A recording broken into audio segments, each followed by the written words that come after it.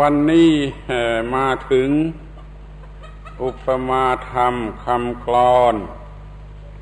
ข้อที่สิบสี่หัวข้อเหล่านี้อยากจะขอทบทวน ให้ได้ยินได้ฟังให้คุ้นให้คุ้นหู อยู่เสมอเสมอ จะได้จำได้ คล่องปาก ข้อที่หนึ่งเป็นลำดับมา ไม้อิงสามขา ศาสตราสามอัน โจรฉะกันสามกกป่ารกสามดง เวียนวงสามวน ทุกทนทั้งสามโลก เขาโคกสามเนิน ทางห้ามเดินสองแพร่ง ตัวแมลงห้าตัว มานที่น่ากลัวห้าตน บ่วงคล้องคนหกบ่วง เหตุแห่งสิ่งทั้งปวงหกตำแหน่ง แหล่งอบายสี่คุ้ม วันนี้สิ่งที่ต้องควบคุมสามจุดจะสิ่งที่ต้องควบคุมสามจุด ก็หมายความว่ามีจุดสามจุดที่ต้องควบคุมคำกรอนพาไปจึงต้องพูดว่าจุดที่ต้องควบคุม ถ้าเรียกโดย ภาษาธรรมดาก็เรียกว่าทวารทั้งสามที่นิยมเรียกกันว่า กรรมบทกรรมบทคำว่ากรรมบท นี่คนแก่ๆก็คล่องปากกันมาก เป็นกุศลกรรมบทบ้าง เป็นอกุศลกรรมบทบ้าง แต่สมัยนี้ไม่ค่อยมี ใครจะเอามาพูดถึง เขาคงจะคิดว่ามันมากนัก เพราะขอร้องให้ถือแต่เพียงศีลห้า มันก็ยังไม่ได้ ขอร้องให้ถือเพียงศีลหนึ่ง มันก็ยังจะไม่ได้อยู่อีก ไอ้กุศลกรรมบทนี่มันตั้งสิบเขาก็ขี้เกียจจาม โดยเฉพาะคน รุ่นหนุ่ม สมัยนี้ เพียงห้าก็สั่นหัว พอมาถึงสิบก็ไม่รู้ไม่ชี้เลย เราเอามาพูดกันในวันนี้ในฐานะเป็นหลักธรรมะสำคัญ โดยหัวข้อว่าจุดที่ต้องควบคุมสามจุด คือทางกายทางวาจาทางใจ มีการปฏิบัติที่เรียกว่ากรรมบท กรรมบทแปลว่า ทางแห่งกรรม ตัวบอตัวทอสะกดนี่บทนี่อันว่า บทแปลว่าทาง มีความหมายอย่างเดียวกับทางคือมักนะความหมายเดียวกัน กรรมบทก็คือหนทางแห่งกรรม เท่าที่ได้ผ่านมาในพระคำพีโดยเฉพาะคำพีอัตถกถาทั้งหลายทำให้เห็นได้ว่า ไอ้กรรมบทกรรมบทนี่เป็นคำโบราณ มากทีเดียว เชื่อได้ว่าก่อนพุทธกาลเมื่อพระพุทธเจ้าเกิดขึ้นมาในโลกนี้คำว่าธรรมบท ธรรมบทนี่เขามีใช้กันอยู่แล้ว พูดจากันอยู่แล้ว ในฐานะเป็นธรรมะระดับพื้นฐาน ซึ่งประชาชนต้องรู้ นี่เรียกว่ามีอยู่ก่อนพุทธกาลจะเป็นจุดตั้งต้นระดับพื้นฐานของมโนธรรม แห่งมนุษย์ทั้งปวง ในประเทศอินเดีย หรือชมพูทวีปนั้นอย่าเห็นเป็นเรื่องเล็กน้อยเลย อย่าได้ดูหมิ่นเลย เป็นหนทาง ที่เคยช่วยมนุษย์ให้รอดมาได้ ยืดยาวมาเป็นพันพันปีทีนี้ที่เรียกว่าจุดที่ต้องควบคุมสามจุด เกี่ยวกับกรรมบทนั่นเข้ามาเรียกกันสมัยว่าทวารกายกรรม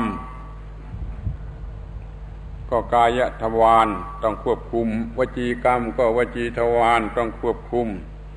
มโนกรรมก็มโนทวารต้องควบคุม หลักเกณฑ์การควบคุมนั้นเรียกว่าบทจึงได้เรียกว่ากรรมบทสำหรับคำว่าทวารนนี่ ก็น่าสนใจอยู่เหมือนกัน เข้าใจว่ายืมมาจากภาษาชาวบ้าน ที่เขาเรียกทวารประตูเรือนกันมาก่อน นี่ก็เคยบอกบ้างแล้ว ถ้ายังสนใจคงจะจำได้ว่าไอ้ภาษาธรรมะนั่นยืมมาจากภาษาชาวบ้านทั้งนั้น เพราะเรื่องธรรมะเป็นเรื่องที่เพิ่งคิด ทีหลังพบทีหลังรู้ทีหลังจะเอามาสอนชาวบ้านไอ้เรื่องที่คิดได้นั้นต้องตั้งชื่อ ถ้าตั้งชื่อแปลกออกไปไม่มีใครรู้เรื่อง ต้องตั้งชื่อด้วยคำที่เขาพูดจากันอยู่เป็นประจำมันง่ายดีเช่นคำว่านิพพาน แปลว่าเย็นนี่มื่อพบนิพพาน ในทางธรรมก็ยืมคำว่า เย็นนั่นคือคำว่านิพพานนั่นเองไปใช้ คำนั้นแปลว่าเย็น ทางไปนิพพาน ก็ขอยืมคำชาวบ้านว่าหนทางหรือมรรคนั่นไปใช้ก็เรียกว่าหนทาง เป็นเหล่าเป็นอย่างนี้ทั้งนั้นก็ว่าได้ ดังนั้นจึงเห็นได้ง่าย ๆ ว่าคำว่าทวารซึ่งแปลว่าประตูเรือนนี่มันก็ถูกยืมไปใช้ เป็นจุด สำคัญที่จะต้องควบคุมระวังรักษา เกี่ยวกับประตูทางธรรมะ ยืมคำว่าทวารที่แปลว่าประตูบ้านประตูเมืองเนี่ยไปใช้สำหรับประตูที่ในชีวิตคนในตัวคนคงเรียกว่าประตูต่อไปตามเดิม ต่อมาคำพูดมันขยายตัวมากไปมากยิ่งขึ้น เพราะมันจึงมีความหมายหลายอย่างเท่าที่ปรากฏอยู่เดี๋ยวนี้คำว่าทวารทวารนนี่ก็มีอยู่สามชุดด้วยกันททวารทางวัตถุทางเนื้อหนังร่างกายนี่ก็ว่ามีเก้าเขานับเป็นเก้า คือตาสอง หูสอง จมูกสอง แล้วก็ ปากหนึ่ง เป็นเจ็ดแล้ว ทวารหนักทวารเบา รวมเป็นเก้าทำไมไม่นับสะดือเป็นทวารหนึ่งด้วยก็ไม่รู้ เพราะมันคงจะไม่ทำหน้าที่ของทวารมากมายนัก เรื่องทวารเก้าเป็นเรื่องทางร่างกายเป็นเรื่องทางวัตถุ ไม่ค่อยเกี่ยวกับพระธรรมเลย แต่ก็ยังอุตริมีคนอุตริ เอาไปพูดให้คลังให้ศักดิ์สิทธิ์เป็นเรื่องปิดทวารทำให้เกิดมีพระพุทธรูปเล็ก ๆ พระเครื่องขึ้นมาแบบหนึ่งเรียกว่า ปิดทวารทั้งเก้าแล้วเขาก็ว่าเอาเอง ว่าจะเป็นการปิดคุ้มกันได้หมด เรื่องอย่างนี้พระพุทธเจ้าไม่เคยทราบ คนชั้นหลังเขาบัญญัติกันขึ้นเอง นี่เรียกว่าทวารเก้าเป็นทวารทางวัตถุ สังเกตดูเป็นทวารสำหรับออกจะมากกว่า ทวารเก้านี่เป็นทวารสำหรับออกจะมากกว่าทีนี้กลุ่มที่สองทวารทางอายตนะ มีอยู่หกคือตาหูจมูกลิ้นกายใจ ที่เราพูดถึงกันอยู่เกือบจะทุกวันก็ว่าได้ ทวารหกนี่เป็นกอขอกอกา ของพระพุทธศาสนาในส่วนปรมัตถธรรม นี่เรียกว่าทวารด้วยเหมือนกัน ตาเป็นทวารหูเป็นทวารจึงเรียกว่าจักสุทวารโสตทวารคานะทวารชิวหาทวารกายะทวารมโนทวารหกทวารนนี้เป็นทวารข้าว คือสำหรับเข้าไป อะไรอะไรที่เข้าไปทางตาทางหูทางจมูกทางลิ้นทางกายเข้าไปถึงจิต แล้วก็มีเรื่องมีราวมากม้จิตก็ยังเป็นทวารรับอารมณ์ ก็เป็นทวารข้าว ด้วยเหมือนกัน เรียกว่าทวารหกทวารเก้าทวารหกไม่ใช่เรื่องที่จะพูดในวันนี้ ไม่ได้มุ่งหมายจะพูดในวันนี้นั่นก็เหลือแต่ทวารอีกพวกหนึ่ง คือทวารกรรม ทวารสำหรับทำกรรม นี่ก็มีสามระบุตาหูจมูกเอ้ยระบุตาระบุกระบุกายวาจาใจ กายวาจาใจเท่านั้น เรียกว่าทวารกรรม ทวารสำหรับกรรม ทวารสำหรับการกระทำ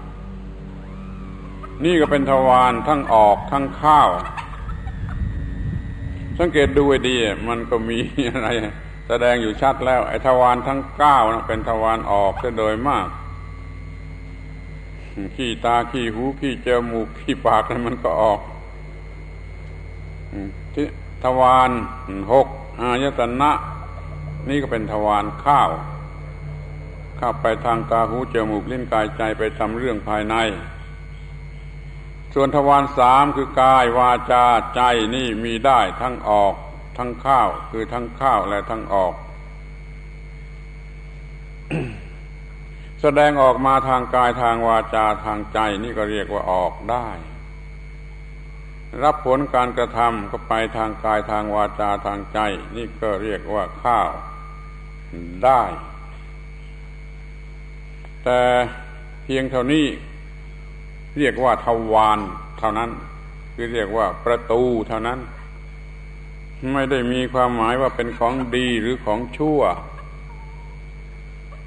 เป็นของที่ไม่ต้องไปพูดว่ามันดีหรือมันชั่ว ปล่อยมันว่ายตามธรรมชาติ ไม่บัญญัติว่าดีว่าชั่วไอ้สิ่งที่ไม่ได้บัญญัติว่าดีว่าชั่ว เพราะบัญญัติไม่ได้หรือไม่ต้องบัญญัติอันนี้ก็ก็เรียกกันว่า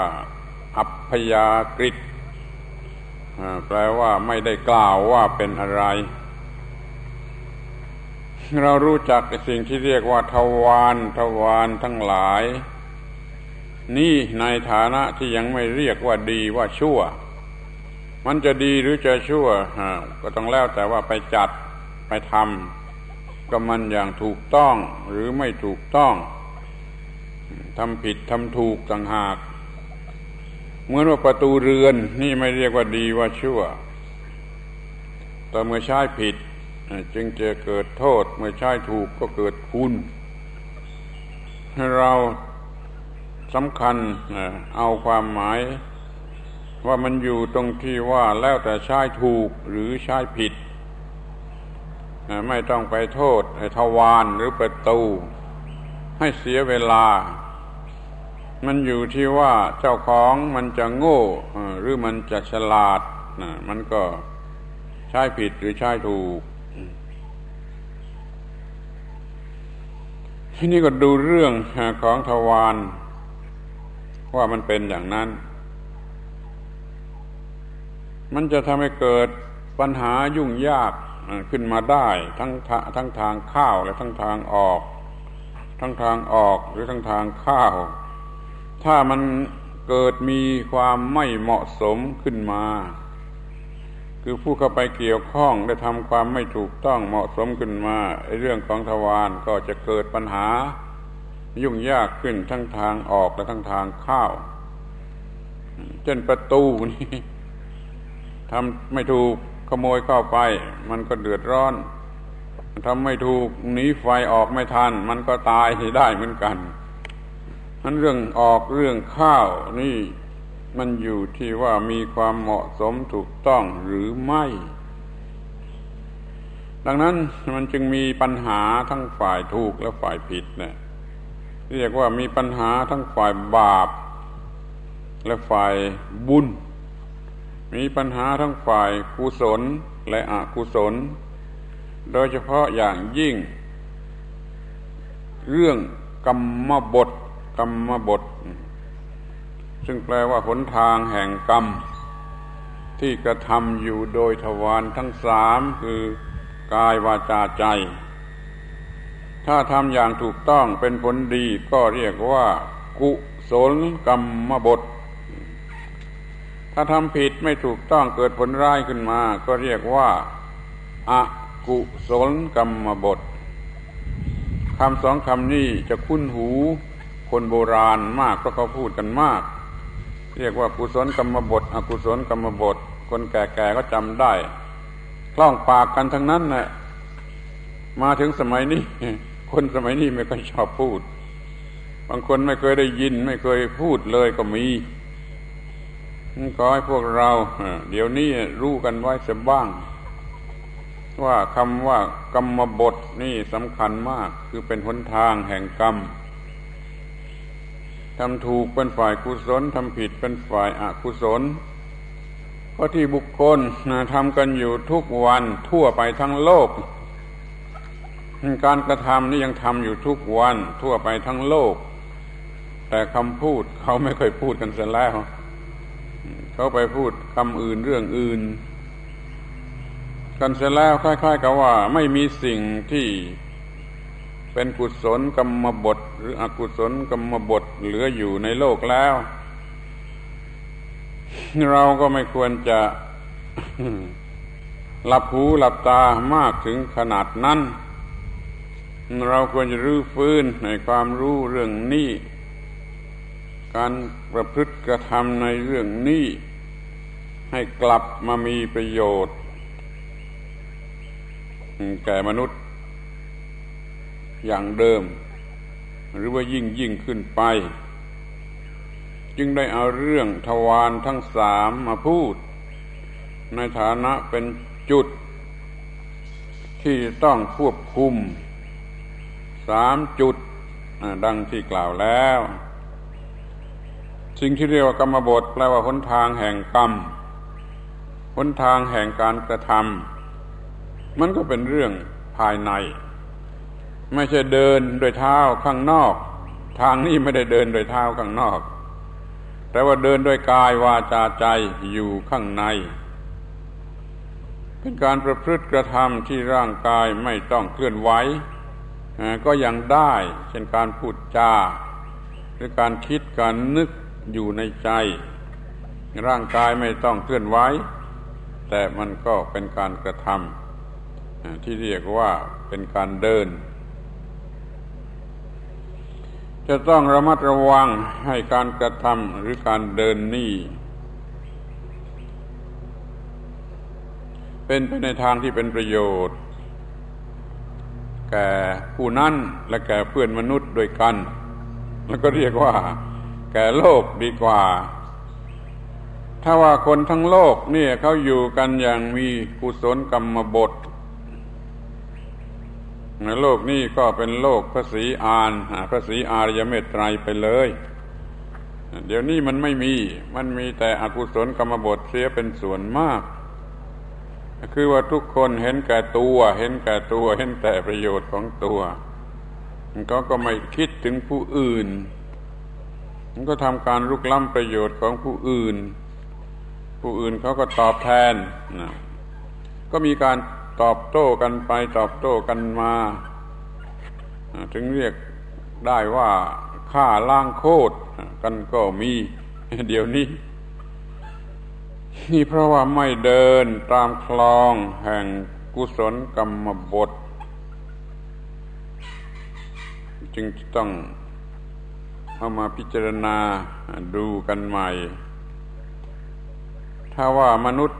ในโลกเขาตกลงกันได้ จะหันมาใช้ธรรมะใช้ศาสนา ใช้คำสั่งสอนของพระเจ้ากันอีกทีในโลกนี้ก็จะสงบสุขเหมือนที่แล้วแล้วมาจะพูดถึงเรื่องควบคุมระวังจุดสามจุด นี่ต่อไป ควบคุมระวังรักษา กาย วาจาใจ เป็นหลักสำคัญ จะขยายออกไปเป็นตาหูจมูกลิ้นกายใจก็ยังได้ เพราะมันแทนกันได้ อยู่ที่ว่าเราจะต้องควบคุมจะต้องระวัง อย่าให้เกิดการผิดพลาดขึ้นมาได้ทางตาทางหู ทางจมูกทางลิ้นทางกายทางใจแล้ว สามทางนี่ที่เหลือก็ง่าย คือทางกายทางวาจาทางใจ มันน้อยข้าวมันเหลือสามทาง ถ้าดูไปถึงศาสนาอื่น ๆ เขาก็นิยมอบรมสั่งสอนเรื่องการควบคุมระวังรักษากายวาจาใจนี่ด้วยเหมือนกัน ไม่มีไม่มีศาสนาไหนที่จะบ้าบอ จนถึงกับว่าสอนไม่ให้ควบคุมกายวาจาใจล้วนแต่สอนให้ระวังรักษาควบคุมกายวาจาใจ แม้คำพูดจะผิดกันไปบ้าง แต่ความมุ่งหมายก็อย่างเดียวกันคำว่าระวังระวังรักษาควบคุมนี่ คือ ทำให้มีแต่ฝ่ายกุศล ไม่ให้มีฝ่ายอกุศลทำให้มีแต่ฝ่ายกุศล ไม่ให้มีในฝ่ายอกุศล แปลกมาตัวเดียวคือตัวออ่านว่าอะกุศลกับอกุศล ตัวหนังสือนี่เถียงกันมาก แม้ในพระคัมภีร์คำอธิบายในพระคัมภีร์ก็เถียงกันมาก ว่ามันแปลว่าอะไรแน่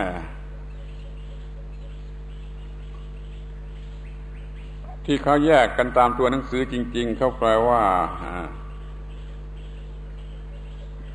ตัดหญ้าคา กุสะ แปลว่าหญ้ากุสะ หรือหญ้าจำพวกหญ้าคาหญ้าที่เป็นอันตรายเลวร้ายนี่เรียกว่าหญ้ากุสะ แล้วละนี่มันแปลว่า ตัดกุสะละก็แปลว่า ตัดหญ้ากุสะถ้าไม่ตัดคือทำผิดก็เป็นอกุสละคือไม่ตัดหญ้ากุสะหญ้ากุสะนี่ถือว่าเป็นอันตราย ถ้าไม่แผ้วไม่ถางรกรุงรังไปหมด ก็ทำมาหากินไม่ได้ แล้วยังจะเป็นอันตรายคือจะบาดให้เจ็บปวดไปหรือว่าจะรกเป็นที่อยู่ที่อาศัยของสัตว์ร้าย มันก็เพิ่มอันตรายมากขึ้นไปอีก ดังนั้นเขาจึงมีแผนการที่จะกำจัดเสียซึ่งหญ้าอันอันตรายคือหญ้ากุสะนี่การกระทำนั้น เรียกว่ากุศลตัดยาคาแล้วก็ยืมมาใช้ในทางฝ่ายศาสนา เป็นชื่อของการกระทำฝ่ายดี ความชั่วเปรียบเหมือนกับยาคาที่อันตราย ตัดมันเสีย ก็เรียกว่าเป็นกุศล นี่ก็เป็นคำที่ยืมมาจากชาวบ้านอีกก็ได้ไอชาวบ้านสมัยโน้นเขาถางหญ้าคาถากหญ้าคาเรียกว่ากุศละกันอยู่แล้ว พอเกิดทางธรรมะขึ้นมา ก็ยืมคำนี้มาใช้ว่ากุศละคือตัดหญ้าคาแต่ว่าตัดหญ้าคาข้างในหญ้าคาข้างนอกก็ตัดกันไปตามเรื่องของชาวไร่ชาวป่า แต่ว่าหญ้าคาข้างในก็ตัดกันไปตามเรื่องของชาววัด ที่ไม่มัวแต่นั่งโงกสับประงกจะอย่างเดียว มันต้องขยันขันแข็ง ในการที่จะตัดหญ้าคา ที่กายที่วาจาที่ใจทำผิดที่กายก็เรียกว่ายาคาที่ร่างกายทำผิดที่วาจา ก็เรียกว่ายาคาที่วาจาทำผิดที่ใจก็เรียกว่ายาคาที่ใจ ถ้าใครตัดให้เกลี้ยงไปได้ คนนั้นมีความสุข ก็จะมีประโยชน์ เพราะว่าไม่มียาคารบกวน แล้วก็จะไม่ก้าวร้าวลุกรานเอาเพื่อนมนุษย์ด้วยกันด้วย เพราะว่าเขาไม่มียาคา นี่คำว่าฝ่ายกุศลก็แปลว่า ตัดยาคา ฝ่ายอกุศลก็คือไม่ตัดยาคา มีแต่การกระทำที่เดือดร้อนทางกายทางวาจาและทางใจ เดี๋ยวนี้เขาไม่มามัวไม่มามัวแปลกุศลว่าตัดหญ้าคาคำว่ากุศลเขาแปลว่าดีบ้างฉลาดบ้างเท่านั้นเองคำว่าอากุศลก็แปลว่าไม่ดีหรือไม่ฉลาดแต่มันก็ไม่รู้ว่าดีหรือไม่ดีฉลาดหรือไม่ฉลาดอย่างไร จึงเอาคำพูดแต่โบราณในครั้งพุทธกาลที่เหลืออยู่ในพระคัมภีร์มาพูดให้ฟัง นี่มันเป็นเรื่องที่ ดีหรือไม่ดีก็รู้เอาเอง กุศลตัดยาคา มีเทศปุชาวิสัชนาพระองค์หนึ่งเป็นเชื้อจีน พระองค์หนึ่งเป็นไทย เทศปุชาวิสัชนาถามกันไปถามกันมา พระองค์ไทยบอกว่าตัดหางเปียเจ๊กก็เลยหากันใหญ่ นี่มันเคยใช้โอกาสที่จะเอาคำเหล่านี้ไปพูด ล้อเล่น เป็นเรื่องชวนหัวไปเสียก็มี คุณจำไว้ว่ากุศละเอตัดยาคา ของอันตรายโรครุงรังอากุอากุศละตัดยาคาอากุศละไม่ตัดยาคา ก็หมายความว่าทำยาคามันมากขึ้น ปลูกหญ้าคามันมากขึ้น จนรกรุงรังไปหมด อย่างนี้เรียกว่าอากุศล หลับตาดูก็พอจะมองเห็นภาพว่า กุศลก็เกลี้ยง สะอาด ราบรื่น สวยงาม ไม่มีอันตราย ถ้าอากุศลก็รกรุงรัง ไม่น่าดูเดินลำบากเต็มไปด้วยอันตราย ให้การระวังทวารกายวาจาใจ ก็เพื่อให้เป็นกุศลอยู่เสมอ อย่าให้มีฝ่ายที่เป็นอกุศลเลย เกี่ยวกับกรรมบทนี่มีแต่กุศลกับอกุศลเท่านั้น ไม่เคยพบคำว่า อัพยากฤิ ถ้าพูดเป็นธรรมหรือธรรมะ มีกุศลธรรม อกุศลธรรม แล้วก็มีอัพยากฤิอัพยากตธรรม แต่ฝ่ายที่เป็นกรรมนี่เท่าที่พบมาไม่เคยพบอัพยากตกรรม เพราะว่ามันจะเป็นไปไม่ได้คือว่าไอ้กุศลกับอกุศลนี่ มันเด็ดขาดเสมอไปแหละ มันจะชัดลงไปว่ากุศลหรือว่าอากุศล ถ้าทำไม่ถึงนั้น มันก็เป็นกิริยา ไม่เป็นกรรม มันก็เป็นกิริยานี่ก็จะเรียกว่าอภยากฤิได้ ถ้าถึงขนาดเป็นกรรมบทขึ้นมาแล้ว มันเป็นกรรมที่กุศลหรือเป็นอกุศลชัดเจนเสียแล้ว มันก็ไม่อาจจะเป็นอัพยากฤิคือกล่าวไม่ได้ว่าเป็นอะไรคำว่าอัพยากฤินี่ ผู้เรียนใหม่ ๆ นี่ช่วยจำกันไว้ดีอัพยากฤิเขาแปลว่ากล่าวไม่ได้ว่าเป็นอะไร ไม่ได้ใช้คำว่าอยู่กลางๆแล้วอย่าว่ากลางๆมันไม่ถูก คือมันกล่าวไม่ได้ว่าเป็นอะไรไม่เคยกล่าว พระพุทธเจ้าก็ไม่เคยทรงบัญญัติ ว่าเป็นกุศลหรือเป็นอกุศล นักปราชญ์ เราใดก็ไม่เคยบัญญัติลงไปว่าเป็นกุศลหรืออกุศล มันไม่ไม่ไม่เคยบัญญัติว่าเป็นอัพยากฤิบัญญัติแต่ว่าเป็นกุศลหรือเป็นอกุศลโดยเด็ดขาดลงไป ถ้ามันทำทั้งสองอย่างคือทั้งกุศลและกุศลก็เรียกว่ามันเจือกัน เพราะมันทำสองอย่างพร้อมกัน มันก็ไปเป็นดำอยู่ ส่วนหนึ่งอยู่อยู่พวกหนึ่งขาวอยู่พวกหนึ่งเอามาปนกัน เหมือนเอาเม็ดดำๆกับเม็ดขาวๆมาปนกัน มันก็ปนกันอยู่อย่างนั้นแหละ มันจะเป็นกลางไปไม่ได้ นี่เรียกว่ากรรมบทแล้วจะต้องเป็นกุศลหรือเป็นอกุศล ไม่เคยพบที่ว่าเป็นอัพยากฤิที่จะเป็นอัพยากฤิก็คือยังไม่ถึงกรรมบทยังไม่เป็นกรรมบท ยังเป็นแต่กิริยาเคลื่อนไหวที่ทำไปโดยไม่เจตนา อย่างพูดอย่างนี้ก็เป็นเรื่องกรรมไปแล้ว เรื่องกรรมจำกันไว้เป็นหลักเบื้องต้นด้วย ว่าไอ้กรรมนี่ต้องทำด้วยเจตนาถ้าไม่ทำด้วยเจตนาไม่เป็นกรรมเป็นเพียงกิริยา ถ้าทำด้วยเจตนา มันจะแน่นอนว่าเจตนาดีหรือเจตนาชั่ว ทำด้วยโลภะโทสะโมหะ หรือว่าทำด้วยอะโลภะอะโทสะโมหะ มันมีเท่านั้น มันจะทำด้วยเจตนากลางกลางนั่นมันไม่มีกรรมที่จะเป็นกรรมมันต้องทำด้วยเจตนาที่แน่นอน ด้วยโลภะหรือโทสะด้วยโมหะก็เป็นฝ่ายชั่วโดยอะโลภะอะโทสะอะโมหะก็เป็นฝ่ายดี ถ้าไม่มีเจตนาไม่ถึงเจตนาก็ไม่เรียกว่ากรรม เรียกว่ากิริยา เพราะว่าไม่มีเจตนา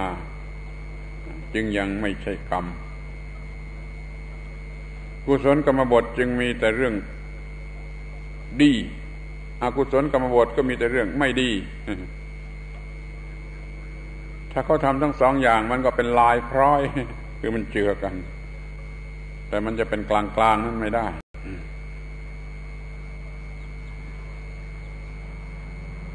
อ้าวที่นี้ก็ดูกันต่อไปถึงว่าจะเอาอะไรมาระวัง เราจะต้องระวังทวารทั้งสามคือกายวาจาใจ ให้เป็นไปแต่ทางกุศล ก็มีปัญหาว่า จะเอาอะไรมาระวัง เป็นเครื่องระวัง ถ้าถามอย่างนี้แล้วมันมีคำตอบที่เรียกได้ว่าไม่มีทางผิด เป็นกำปั้นทุบดิน ในพระพุทธศาสนาเลยถ้าถามว่าจะระวังด้วยอะไรป้องกันด้วยอะไรรักษาด้วยอะไร แล้วก็ตอบได้ ว่าด้วยสติด้วยสติสติเป็นคำปั้นทุบดินไม่มีทางผิดจำคำว่าสติไว้ไปใช้เป็นเครื่อง ระวังรักษาป้องกันคุ้มครองในพวกนั้นแหละทั้งหมดนั่นแหละด้วยสติทั้งนั้นไม่จะเรื่องภายนอก วัตถุสิ่งของก็ป้องกันระวังด้วยสติ อย่างทำรั้วทำฝาเรือนทำนี่ก็ทำด้วยสติ จะทำไร่ทำนาจะ รักษาไร่น้ำมันก็รักษาด้วยสติ รักษาทรัพย์สมบัติก็รักษาด้วยสติอันเดียวนี้จะรักษาภายในคือรักษาร่างกายก็รักษาด้วยสติ รักษาวาจาก็รักษาด้วยสติ รักษาด้วยจิตใจ รักษาจิตใจก็รักษาด้วยสติเราจึงมีสติ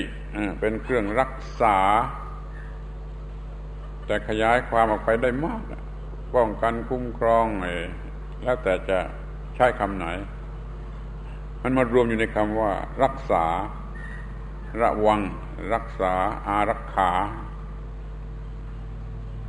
เครื่องระวัง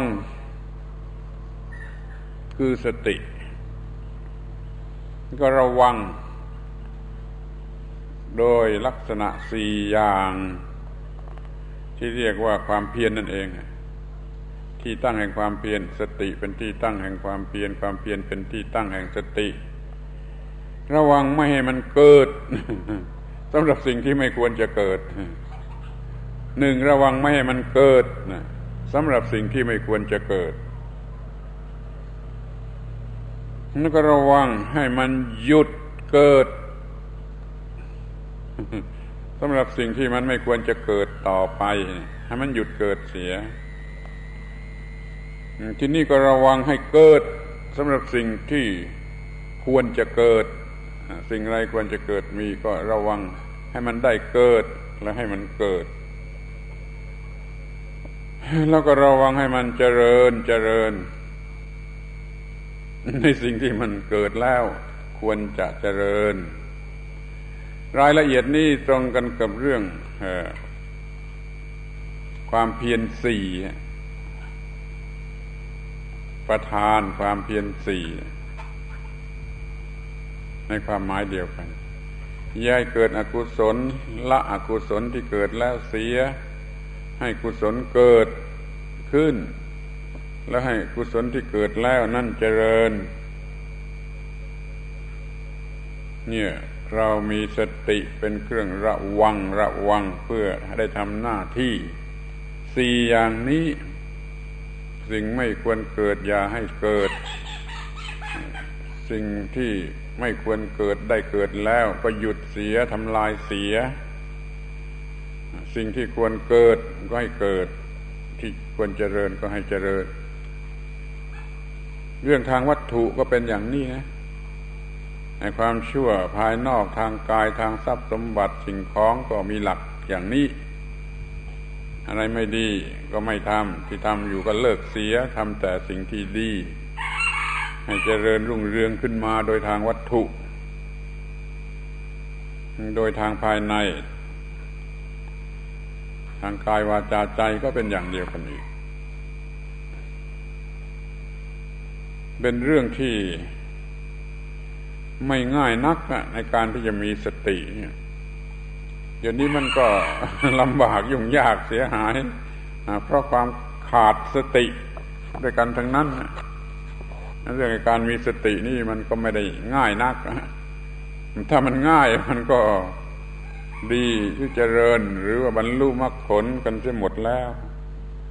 เพราะว่าไอ้เรื่องสตินี่มันไม่ได้ง่ายนัก แต่แล้วมันก็หลีกไม่ได้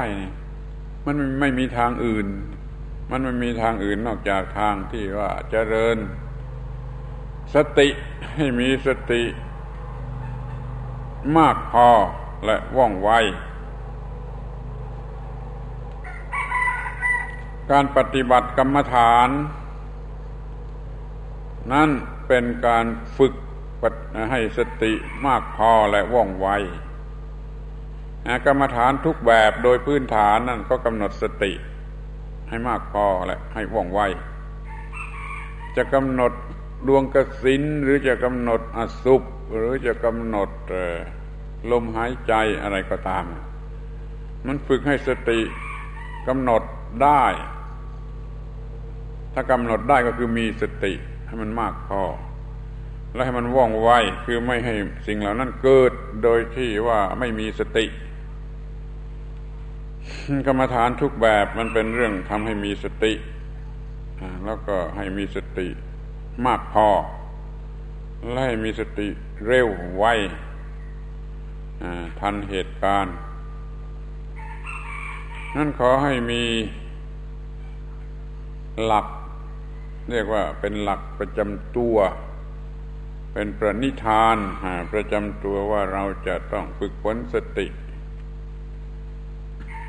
จะมีสติอยู่ตลอดเวลา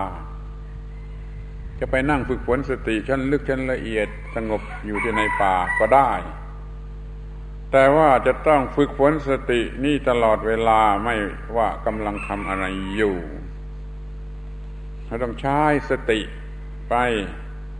พร้อมกับการฝึกฝนสติ นี่ถ้าว่าใครทำได้อย่างนี้ คนนั้นจะเจริญรุ่งเรืองเร็วมาก เช่นว่าคุณเดินมาจากกุฏิแล้วก็มาที่นี่ เดินมาที่นี่ ส่วนหนึ่งเป็นการใช้สติ เดินให้มันถูกต้องให้มันเรียบร้อย ให้มันมาถึง ส่วนหนึ่งเป็นการฝึกสติเพิ่มขึ้น เพราะเมื่อคุณเดินมาทีละก้าวละก้าวนั้นให้มันเป็นการฝึกสติเพิ่มขึ้นเพิ่มขึ้น มากขึ้นแน่นแฟ้นขึ้น ละเอียดประณีตสุขุมยิ่งขึ้น นั่นไม่ว่าจะทำอะไรแหละขอให้มันเป็นไปสองอย่างพร้อมกัน อย่างว่าจะฉันอาหารอย่างนี้ ก็ให้มีสติฉันก็คือใช้สติในการฉันอาหาร แล้วก็ฝึกสติใหม่เพิ่มขึ้นในการฉันอาหาร ไม่ฉันด้วยกิเลสไม่ฉันด้วยมือเมา คือฉันอย่างมีปัจเจเวกอย่างที่ว่ามาแล้วงั้นในการกินอาหารก็มีการใช้สติ เท่าที่มีอยู่แล้ว แล้วก็ฝึกสติใหม่ให้ละเอียดให้มากให้สูงยิ่งขึ้นไปในทุกอิริยาบถตามที่กล่าวไว้ในพระคัมภีร์ จะเดินจะยืนจะนอนจะนั่งจะกินจะอาบจะถ่าย แม้แต่ว่าจะถ่ายจาระปัสสาวะนี่ ก็ยังต้องมีการใช้สติและฝึกสติ เป็นว่า ทุกอิริยาบถหรือว่าทุกเวลา หรือว่าทุกสถานที่ ทุกเวลาใช้สติ ที่มีอยู่แล้วฝึกสติเพิ่มเติม ทุกสถานที่ไม่ว่าจะมาหยุดอยู่ที่ตรงไหน แล้วก็ทุกทุกการเคลื่อนไหวเปลี่ยนแปลงของอิริยาบถคือของร่างกาย เรื่องนี้รู้ไว้ว่ามันทำได้ทุกอิริยาบถเราจะต้องควบคุมทุกอิริยาบถให้เป็นไปอย่างถูกต้อง แล้วก็ให้มีความถูกต้อง อยู่ทุกอิริยาบถทำให้เกิดความถูกต้องขึ้นในทุกอิริยาบถแล้วก็รักษาให้ความถูกต้องนั่นไหวทุกอิริยาบถเมื่อนั่งก็นั่งอยู่ด้วยความถูกต้อง เมื่อยืนก็ยืนด้วยความถูกต้อง เมื่อนอนก็นอนด้วยความถูกต้อง เมื่อเดินก็เดินด้วยความถูกต้องนี่ต้องอาศัยสติเท่านั้นแหละ อื่นทำไม่ได้ อื่นช่วยไม่ได้ ทางตาทางหูทางจมูกทางลิ้นทางกายทางใจหกอย่างนี้ต้องมีสติก็คุ้มครองย่ายเกิดความผิดพลาดได้ขึ้นโดยหกทางนั้นเรียกว่าสติจำเป็น ต้องใช้ในทุกกรณี ใช้ในทุกกรณีนะฮะ ฟังให้ดีว่าทุกกรณีนะหมายถึงทุกเวลาทุกสถานที่ทุกผลทุกแห่งทุกอิริยาบถทุกการงาน สัพพัทธะแปลว่าทุกกรณี เดี๋ยวจะไปแยก ส่วนที่ไม่ต้องใช้ ส่วนที่จะปล่อยตามสบายไม่มีสติ อย่างนี้ไม่ถูกแล้ว สติต้องใช้ทุกกรณี แยกออกไปว่า ทุกสถานที่ทุกเวลา ทุกหน้าที่การงานทุกอิริยาบถเป็นกรณีที่ส่วนตัว กรณีที่เกี่ยวกับผู้อื่น ยิ่งจะต้องระมัดระวัง ที่จริงมันก็ต้องระมัดระวังเต็มที่ทั้งเรื่องส่วนตัวและเกี่ยวกับผู้อื่น จะเกี่ยวกับผู้อื่นนั่นนะถ้ามันเกิดผิดพลาดขึ้นมามันเสียหายสองเท่าสามเท่าคุณจึงจึงน่ากลัวมากกว่าเราคนเดียว จะต้องมีสติทุกกรณีแล้วแต่กรณีอะไรคำว่ากรณีคำนี้แปลว่า ให้สิ่งที่ต้องทำถ้าสิ่งที่ไม่ต้องทำก็ไม่ต้องไปเกี่ยวข้องให้เสียเวลาให้เหนื่อยเปล่าๆแต่ถ้าเป็นสิ่งที่ต้องทำมันก็ต้องทำเรียกว่าสิ่งที่มันเกี่ยวข้องมันไปดูให้ดีเถอะว่ามันมีอะไรเป็นกรณีที่ต้องทำต้องทำเพื่อตัวเราเองมีชีวิตรอด นี่ก็มีอยู่มาก ต้องทำเพื่อให้หมู่คณะอยู่รอด พระศาสนาอยู่รอด อย่างนี้มันก็ยังต้องทำถ้าเรามีจิตใจกว้างขวางไอ้เรื่องที่จะต้องทำมันก็มีมากกว่าคนที่มีจิตใจคับแคบบางคนก็มีจิตใจคับแคบ เขาก็ทำแต่ แคบแคบถ้าควรมีจิตใจกว้างขวางก็ทำมากออกไป ถึงก็เป็นประโยชน์ตนประโยชน์ผู้อื่นประโยชน์ทั้งสองฝ่าย ประโยชน์แก่บ้านเมืองประโยชน์แก่โลก ประโยชน์แก่พระศาสนาควรจะฟังออกทุกคนว่าคำว่าประโยชน์ศาสนานะกว้างที่สุด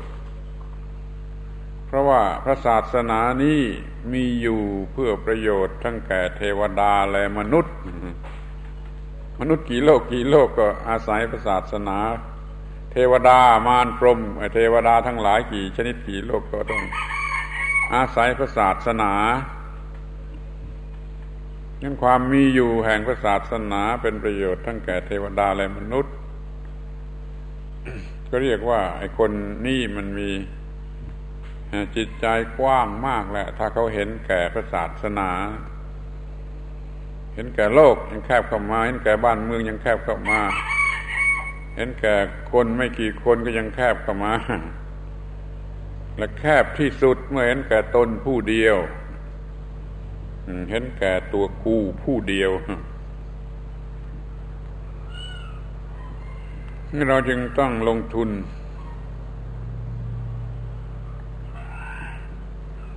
ด้วยความ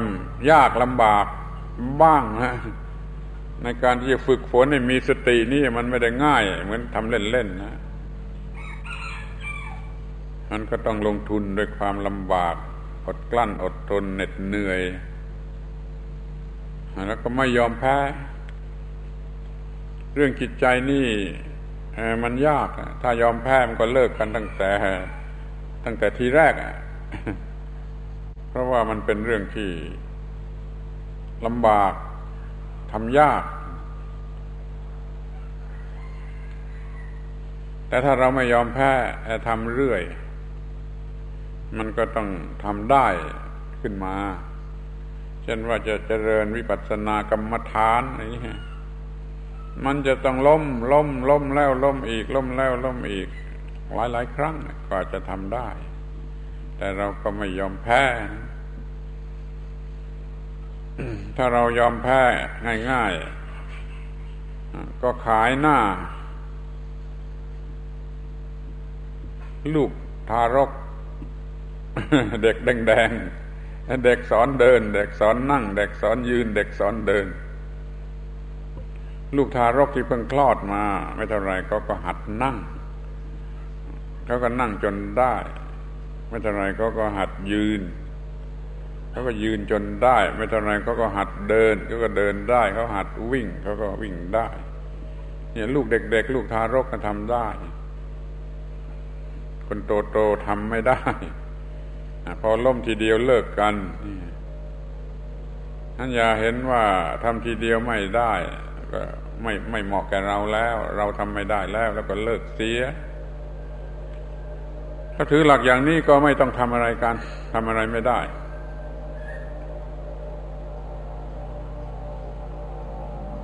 คนสมัยนี้เคยหัดขี่รถจักรยาน หัดพายเรือแจวเรือ มาแล้วทั้งนั้นแหละไปนึกดูบ้างเถอะแม้แต่เรื่องเท่านั้นมันก็ยังต้องทำซ้ำๆยี่สิบสามสิบครั้งจึงจะทำได้ ที่มาทำกับจิตมันยากกว่านั้นมาก หรือไม่จะทำกับกายกับวาจา มันก็ยังเนื่องอยู่กับจิตนั่นมันก็ต้องยากเป็นธรรมดา ที่เราก็ไม่ยอมแพ้ทำแล้วทำอีกทำแล้วทำอีก มันก็ค่อยๆดีขึ้นจนทำได้เรียกว่า การฝึกสตินี่ ต้องลงทุนมากอย่างนี้ เดี๋ยวนี้มันไม่ค่อยจะ เห็นว่าสำคัญมาขอให้เห็นว่าไอ้เรื่องเผลอสติเนี่ยเลวร้ายทีเดียวสำคัญ เรื่องมีสติเนี่ย ดีที่สุดควรจะมีมันการทำอะไรเผลอสติไปสักนิดหนึ่งก็ควรจะเสียใจให้มาก ถ้าฝึกสติได้ก็ควรจะดีใจว่ามันเป็นการได้ที่ดี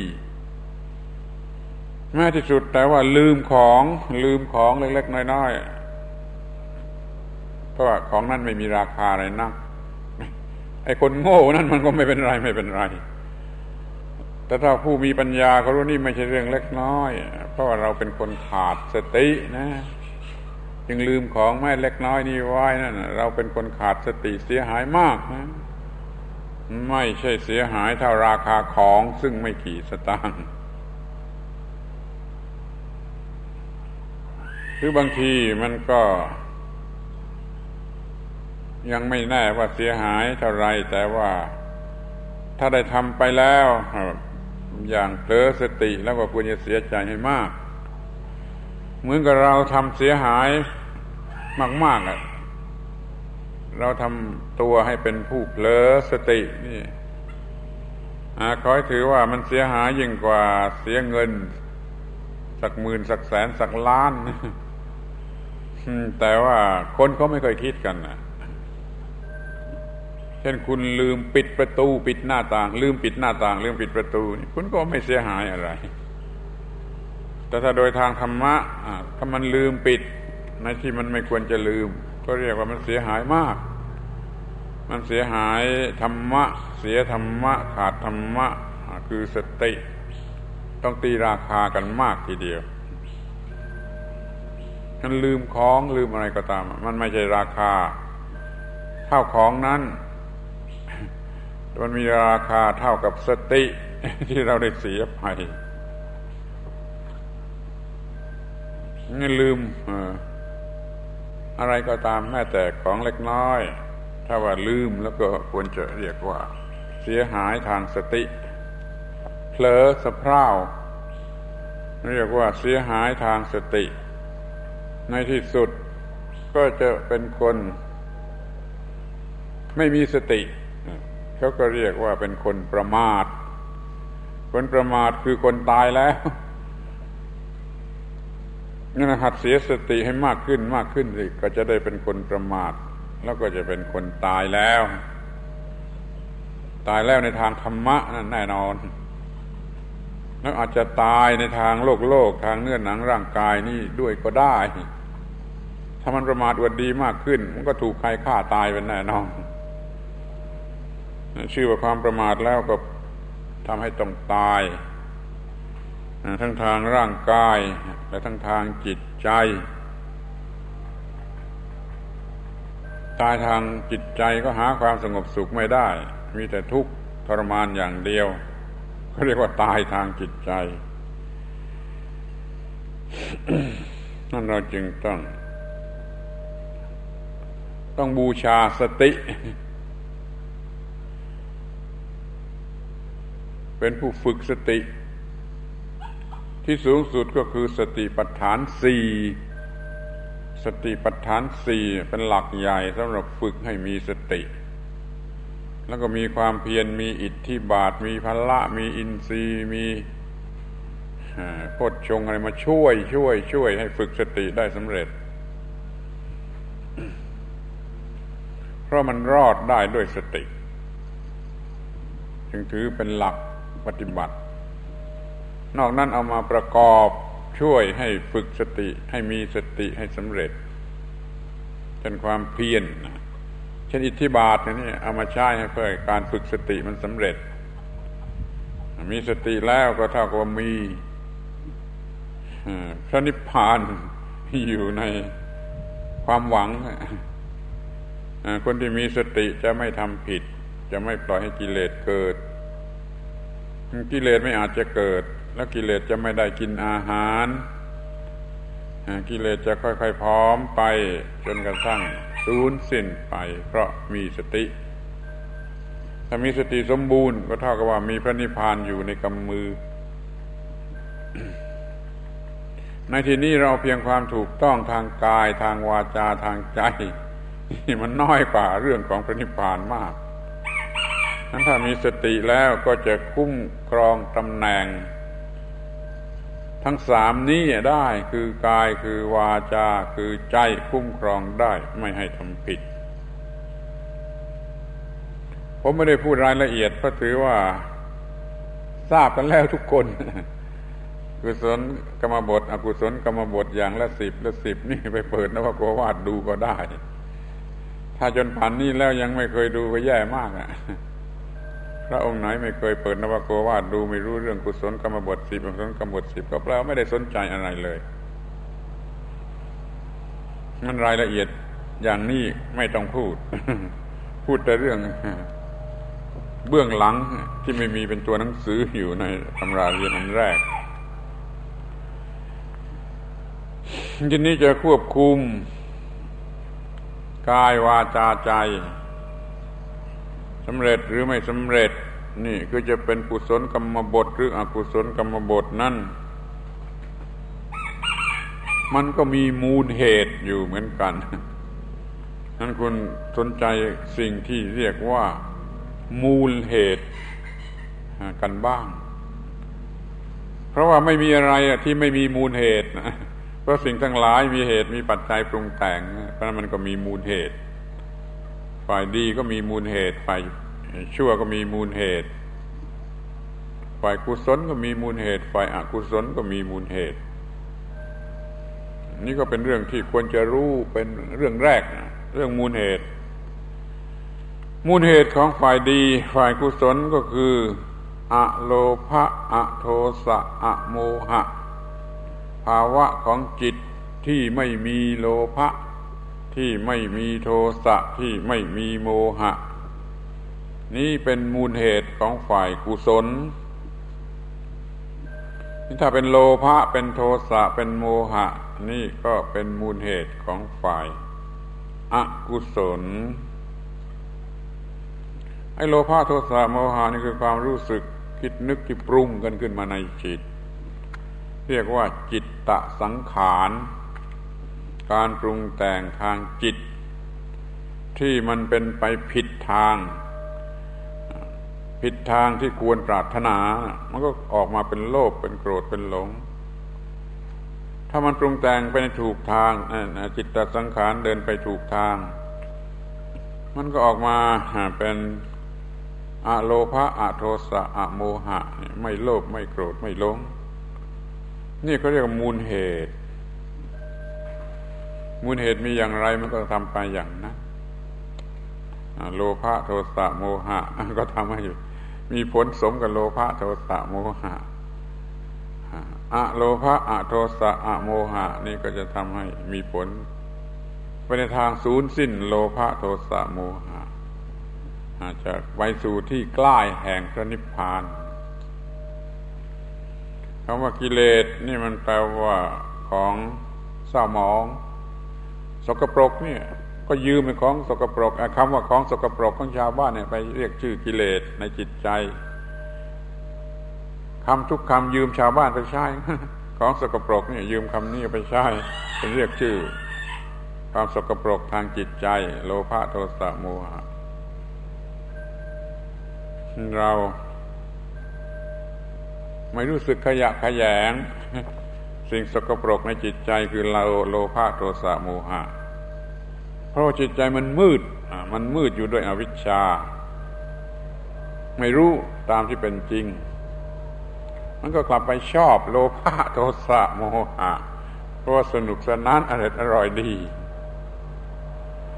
เหมือนเด็กทารกเพิ่งเกิดมาไม่รู้จักวันนี้อุจาระปัสสาวะ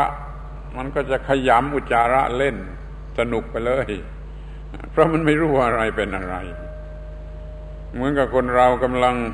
มีโลภะโทสะโมหะสนุกไปเลยแล้วเขาจึงได้ทำสิ่งที่ไม่ควรทำทำอบายมุกเป็นอันธพาลเป็นผู้ทำลาย ตัวเองทำลายผู้อื่นไปเลย ไม่รู้ว่านี่มันเป็นของอันตราย ความโง่ หรืออวิชชา เป็นแม่บทรวมของกิเลสนะความโง่ทำให้อยากได้ที่ไม่ควรอยากได้ก็เป็นความโลภความโง่ทำให้อยากเกลียดอยากโกรธ ที่ไม่ต้องโกรธ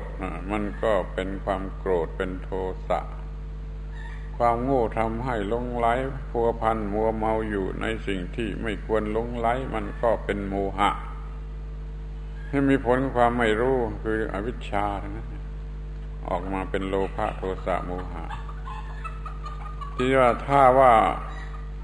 มันไม่ใช่อวิชชา แต่มันเป็นของตรงกันข้าม คือวิชา มันรู้แจ้งตามที่เป็นจริง มันก็ออกมาเป็นอโลภะอโทสะอโมหะเพราะมันรู้ตามที่เป็นจริงแล้วมันจะไปโง่ได้อย่างไรอะ มันก็ไม่ทำสิ่งที่เป็นอันตรายหรือสกปรกหรือเป็นเหตุแห่งความวินาศมันไปศึกษา จากภายในนะไม่ใช่จากหนังสือไม่ใช่จากฟังใครพูดนะ ศึกษาจากภายในให้รู้จักตัวโลภะตัวโทสะตัวโมหะ ทุกคราวที่มันเกิดขึ้นถ้าไปศึกษาอย่างดีที่สุดไปรู้ว่า เดี๋ยวนี้ไม่มีโลภะนะเดี๋ยวนี้ไม่มีโทสะ เดี๋ยวนี้ไม่มีโมหะแม้แต่ชั่วขณะหนึ่งขณะหนึ่งก็ยังดีนะ เมื่อไรมันว่างจากโลภะโทสะโมหะบ้าง ก็คอยรู้จัก แล้วก็จะได้ชมเชยมัน จะได้พอใจ จะได้เลื่อมใสยิ่งยิ่งขึ้นไป ในความที่ไม่มีโลภะโทสะโมหะ ถ้าต่อไปมันก็จะน้อมไปแต่ในทาง ไม่มีโลภะไม่มีโทสะ ไม่มีโมหะยิ่งขึ้น หมดโลโลภะโทสะโมหะเมื่อไรก็เป็นนิพพานโดยสมบูรณ์ หมดชั่วคราวก็เป็นนิพพานชั่วคราวน้อยๆ สั้น ๆ เบาๆไปก่อน ถ้าหมดโลภะโทสะโมหะสมบูรณ์ก็เป็นนิพพานโดยสมบูรณ์ นี่เดี๋ยวนี้เรามันก็ทำผิดในขั้นต้นต้นทางกายทางวาจาทางใจ มันก็ยิ่งหล่อเลี้ยงหรือให้อาหารแก่โลภะโทสะโมหะ โลภะโทสะโมหะของผู้ไม่ควบคุมทวารทั้งสาม มันก็เป็นโลภะโทสะโมหะที่อ้วนท้วนแข็งแรง ยิ่งยิ่งขึ้นไปไอ้คนนั้นมันก็ต้องเดินไกลออกมาจากพระนิพพานนี่เราก็ควบคุมตาหูไอ้ควบคุมกายวาจาใจนี่อย่างดีที่สุด มันก็ไม่เกิดโลภะโทสะโมหะ หรือมันเบาบางไปไอ้คนนั้นมันก็ขยเยบเข้าไปใกล้พระนิพพาน อยู่เสมอน้าเวลามันก็หมด แล้วก็พูดสรุปตอนท้าย ถึงอานิสงส์ที่เราจะได้รับจากการควบคุมจุดที่ต้องควบคุมทั้งสามจุด ควบคุมกายวาจาใจสามจุดนี่ไว้ได้ก็จะได้รับอานิสงส์ คือเราจะมีชีวิตอยู่อย่างสงบสุข เพราะไม่มีความผิดพลาดเกิดขึ้น ชีวิตที่ไม่มีความผิดพลาดเกิดขึ้นนะมันเป็นชีวิตที่มีความปกปกติสุขเลือประมาณนะก็ไม่มีอันตราย ข้างนอกก็ไม่มีอันตราย ข้างในก็ไม่มีอันตราย ทางสังคม ก็ไม่มีอันตราย ถ้าเราควบคุมกายวาจาใจไว้ได้ ก็ไม่มีเรื่องกับใคร ไม่มีใครมาคิดทำร้ายเราในภายในก็ไม่เกิดกิเลสมันก็สบาย ไม่มีอันตรายจากกิเลส มีความเยือกเย็นเป็นพระนิพพาน ตามมากตามน้อยไม่ใช่นิพพานสมบูรณ์ แต่ว่าก็เป็นไปเพื่อนิพพาน ตามแบบรูปของนิพพาน คือเยือกเย็น หรือปกติไม่ คำว่าปกติเนี่ยมันมีมีความหมายดี คือมันไม่ขึ้นไม่ลงไม่ซ้ายไม่ขวาไม่ไม่ทางไหนหมด มันปกติ นี่เรียกว่าอานิสงส์ที่เราได้รับในชีวิตนี้ เพราะควบคุมไอ้กายวาจาใจได้ ก็จะเป็นพื้นฐาน แห่งชีวิตที่สูงขึ้นไป มันยังมีชีวิตที่ต้องสูงขึ้นไปอีกหลายระดับนะนั่นต้องควบคุมกายวาจาใจดี ถูกต้องแล้วเป็นสุขอยู่ที่นี่ แล้วก็เป็นพื้นฐานสำหรับจะมีชีวิตที่สูงยิ่งยิ่งขึ้นไป จนกว่าถึงระดับสูงสุดหลุดพ้นนี่อานิสงส์เพราะฉะนั้นก็ควรจะไม่ประมาท มีนิทานตัวอย่าง ในคำพีอัตถกถา เรื่องกุศลกรรมบทนะมันคล้ายๆกับว่า ทุกบ้านทุกเรือนถือหลักอันนี้กันหมด เป็นกุศลกรรมบท แล้วก็โดยเฉพาะบางแห่งบางเขต บางตำบล บางหมู่บ้าน ในอัตถกถาก็ออกชื่อหมู่บ้านอะไรผมก็จำไม่ได้ มันเป็นชื่อ ถือกุศลกรรมบทกันเป็นอย่างดี แล้วก็ครอบครัวนั้นเขาถือว่า ผู้ที่มีกุศลกรรมบทนี่จะไม่ตายไม่ตายก่อนอายุ ทีนี้ไอ้คนหนุ่มคนหนึ่งมันอยากได้ลูกสาว จ้าของบ้านนั่นนะลูกสาวเจ้าของบ้านนั่นนะเขามั่นกันไว้กับไอ้คนหนุ่มอีกคนหนึ่ง ซึ่งไปฆ่าเมืองไกลไอ้คนโป้งคนนี้มันก็เอากระดูกหมากระดูกแพะห่อผ้ามา บอกพ่อบ้านคนนั้นนะว่าให้คู่มั่นของลูกสาวของพ่อนะตายแล้ว เข้ามาขอลูกสาว คนนี้แทนพระเจ้าของบ้านโอ้ไปเถอะไปเถอะบ้านเราไม่มีใครตาย ก่อนอายุ ในหมู่บ้านนี้จะไม่มีใครตายก่อนอายุ เพราะว่าคนในหมู่บ้านนี้รักษากุศลกรรมบทอย่างเคร่งครัดทุกคน เขาก็เลยไล่คนหนุ่มคนนั้นแทบจะลงเรือนไม่ทัน ให้มันกลับไป นี่แสดงว่าเขาเคยยึดถือกันถึงขนาดนี้ จึงปรากฏอยู่ในพระคัมภีร์ว่า จะไม่มีใครตายก่อนอายุ ถ้าว่า รักษากุศลกรรมบทอยู่ เป็นปกตินี่ตัวอย่างอานิสงส์และเวลาที่มีก็หมดแล้ว ก็ขอให้เอาไปคิดเป็นนึก อีกสองสามข้อก็จะหมดแล้วไม้อิงสามขาศาสตราสามอันโจรชะกันสามกกป่ารกสามดงเวียนวงสามวนทุกตนทั้งสามโลก เขาโคกสามเนินทางห้ามเดินสองแพร่งตัวแมลงห้าตัวมานที่น่ากลัวห้าตนบ่วงคล้องคนหกบ่วง เหตุแห่งสิ่งทั้งปวงหกตำแหน่ง แหล่งแห่งอบายสี่คุ้ม สิ่งที่ต้องควบคุมสามจุดเอาละเอวังนิมนต์